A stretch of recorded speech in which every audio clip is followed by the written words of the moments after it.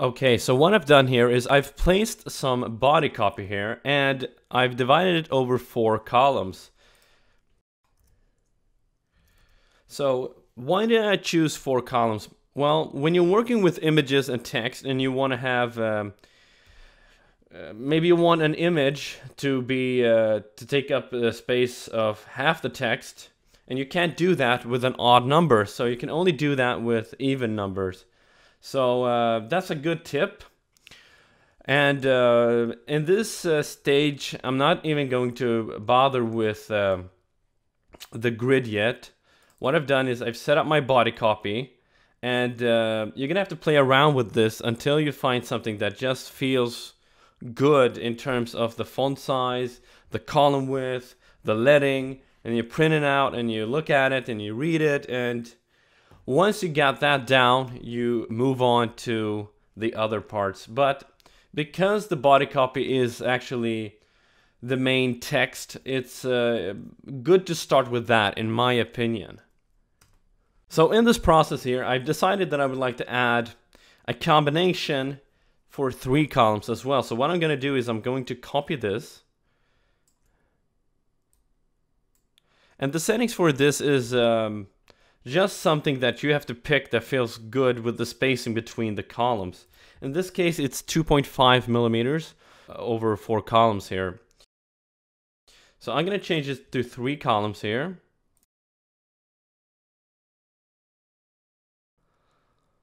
Because we have wider columns here, I'm going to see if multiplying this with 2 is going to feel okay because we still have to consider that we are going to have a document grid in the end and we need to base the uh, the spacings around that uh, that grid. So let's pretend that this feels all right and I print it out and everything. And uh, I think that we could start sketching with a, on a layout here. So um, let's do that. Okay, so uh, what I'm going to do now is I'm going to create a new document and start Grid Calculator. I'm just going to select Create New Document here.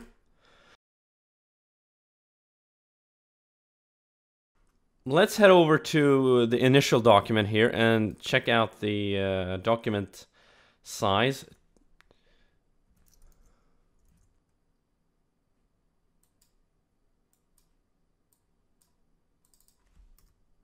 215 by 280 millimeters.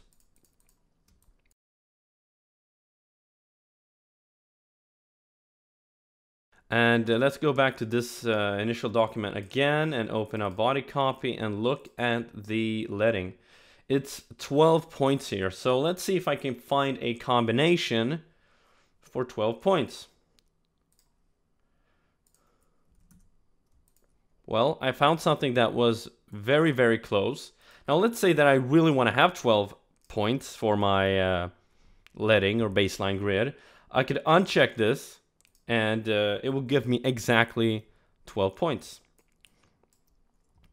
So uh, the next step is to find, uh, to actually look at the um, the gutter value here because this is going to guide us on what value we need to set for our uh, document uh, or the grid width.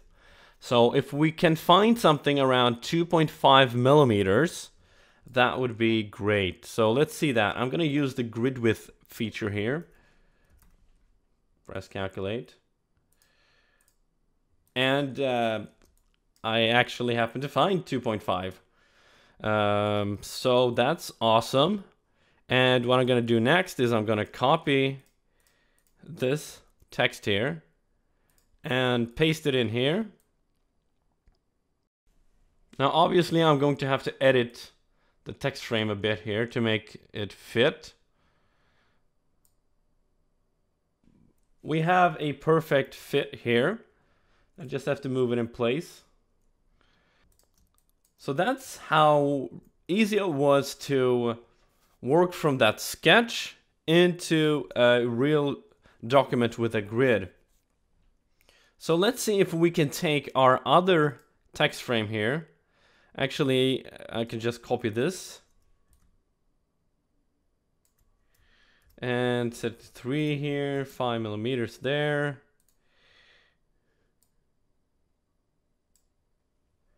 Now, this didn't fit, so what are we gonna do about this? Well, we can either play with the width here.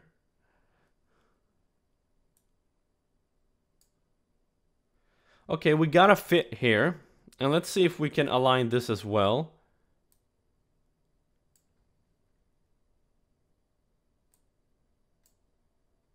Yeah, I was lucky and it actually fit. Now, otherwise you're going to have to do some other editing to make sure that everything fits. You might have to work with a smaller gutter here or maybe a larger gutter here. You're gonna have to play around until it fits. So let's go to margins here. So we set our inside margin and let's set our outside margin as well. I would actually like to have a little more spacing on the outside. So I'm gonna move all of this slightly to the inner margin. Reduce here, increase here. And uh, let's see what we can find for type of combination here. So let's say that we would like to have three columns as our main column. And then I would like to have subcolumns. Actually, subcolumns is not the correct choice here. We are going to go to secondary here and we're going to look at secondary columns. We're going to look at four columns here. Now here we got a little problem. It doesn't really fit. So I just missed that. Let me show you. Um, here. So it doesn't fit here. So what can we do? Because in the end, it's all about making it look good and being readable and so on. And that's why we have custom setup here. So I can go to secondary here. I could enter 4. I could just enter 2.5 millimeters. And it would actually be gridded according to that. Even if we break the grid. Now, personally, I don't think it's uh, the end of the world if it doesn't fit perfectly. Because in the end, uh, it, it's all about making making it look good and being readable and all of that.